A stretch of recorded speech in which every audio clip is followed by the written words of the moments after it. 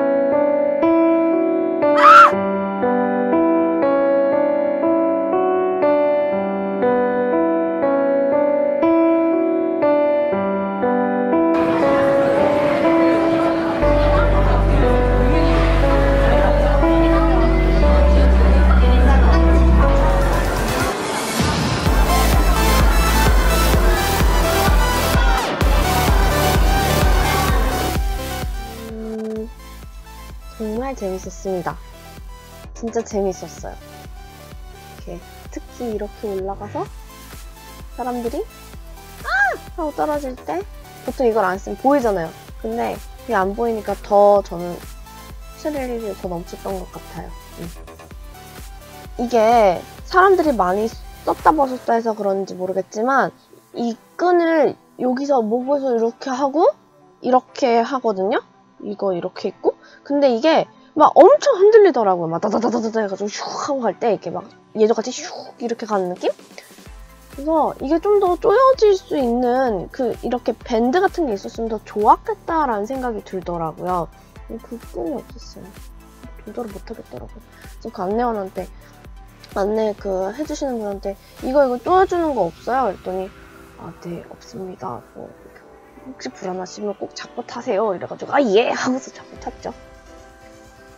하지만 더 안타까웠던 점은 그 제가 자유로 드롭을 타지 못했어요. 기상 그 바람 때문에 제가 이제 거기서 좀 위험하다 그래가지고 제가 타지를 못해서 정말 안타깝지만 괜찮아요. 저뭐 다음에 가서 타면 되니까.